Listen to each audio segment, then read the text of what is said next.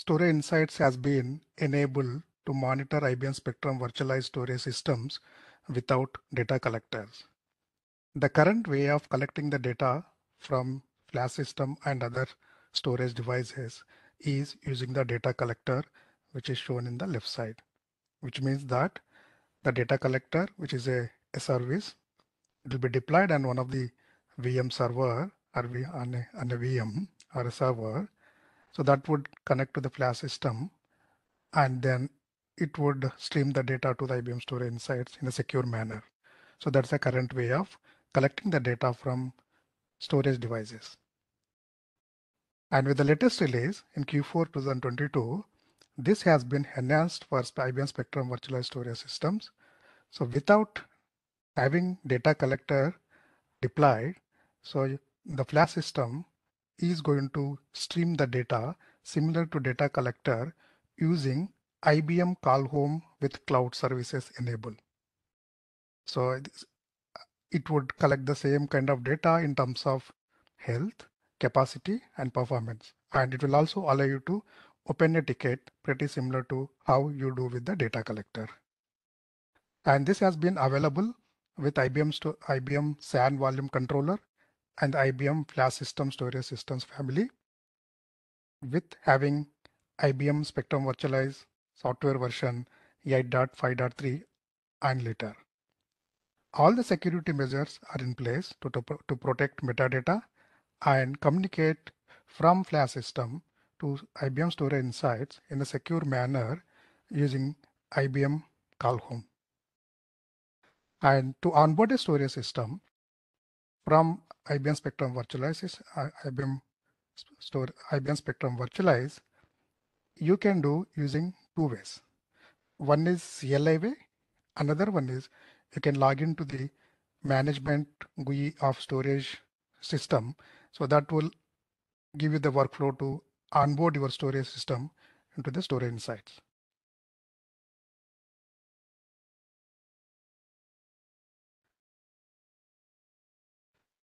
So when you log into the IBM Flash system that supports uh, IBM IBM Cloud Call Home enabled for cloud services, so it will give you a, a notification to add a device. And uh, when you click on add device, so it will ask you to enter your IBM ID and that will fetch all the storage insights tenants associated with that IBM ID. So for today's demo, so I have used the CL, CLI way of onboarding your storage system into the IBM Storage Insights.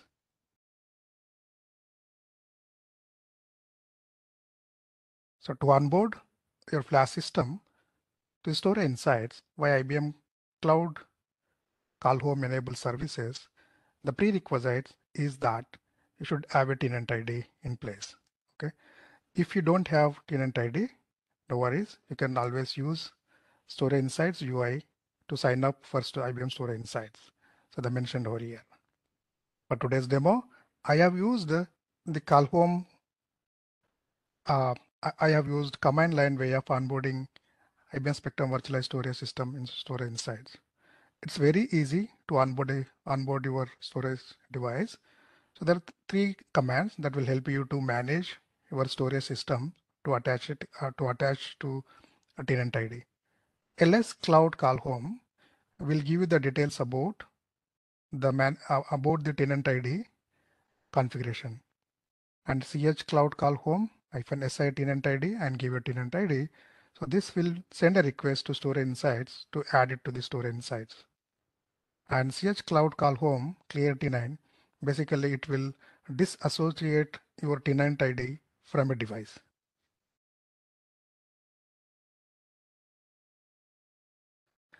let me log into flash system using the command line. Let me check if there is any tenant has been associated with device. Let me use ls cloud call home command. All right so i don't see any value has been assigned to si tenant id so let me assign a tenant to this storage system using ch call cloud call home command. But before assigning a tenant, I will also show you the storage insights uh, UI. So if you go to the storage insights UI here, So there are three storage systems. And uh, when I enable, when I enable the, the storage device with the tenant, I should be able to get a request to add to the storage system, storage insights. And when I approve it, I should be able to see the device in my storage insights GUI. So let me quickly storage insights.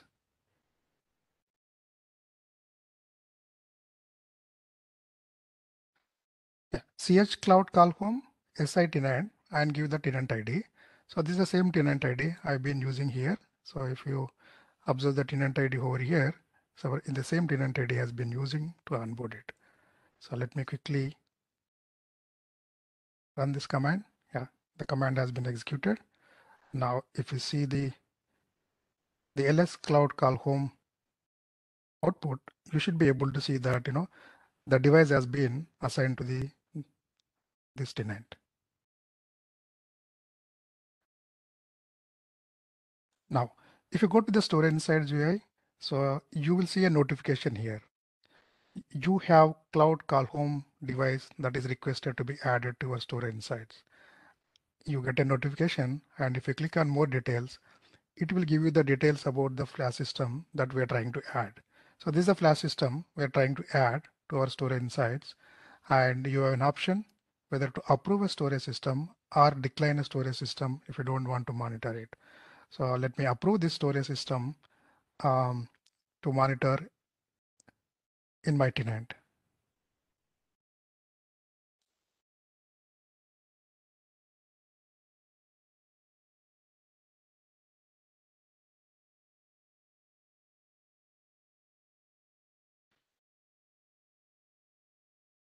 So earlier we had three storage systems and this is the storage system that we have just added. And it is it will go through the similar step of sim, similar steps similar to the data collector in terms of discovery and probe. And discovery has been completed and probe has also been completed. So that is the reason you see probe has some success. So if you go to the task notifications so you will also see the a, a task that has been completed uh, recently that I have added it for adding onboarding a flash system into my storage insights so it will take some more time to start the performance uh, status performance status to come into running to collect the data. So let me wait, wait for some time.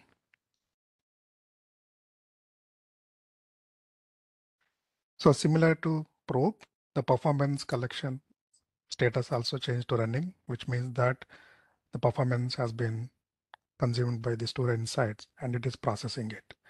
So let's go. I mean, um, you can also see the not only the health status, you can also see um, all the capacity information. For example, you know, return capacity limit and uh, usable ca usable capacity, use capacity percentage, available capacity, firmware version, and so on. So it will show the similar information as uh, information that has been collected by the data collector. So if we go inside the details of the storage system, so you can also see the components, different hardware components, large, logical components and connectivity components that have been collected as part of the probe. And it would also give you the high level capacity information. And you can also see the there's a get support pretty similar to how you can create a ticket with the data collector way. So you can also you know create a ticket and update a ticket. Okay. So this will give you the same, same set of features as supported by the data collector today. So I will show another way to approve the device. So I have say I have shown you a way to approve a device from the notification way and the messages will also be sent to the advisor. So if you go to the advisor message here, Yeah, if you go here, so you can also see that the same set of requests are you know, reported under advisor tab. So uh, there is two requests. So one has been declined and one has been approved. So if a device has been declined, so advisor will allow you to approve it again. So for example, if you just double click on this particular advisor message, so it will give you the it will give you the details about the device and it will also allow you to reapprove the the device so that that will get added into the storage insights. So even if you declare a device, this will allow you to add device back to your storage insights. Okay, so yeah, this would complete the demo.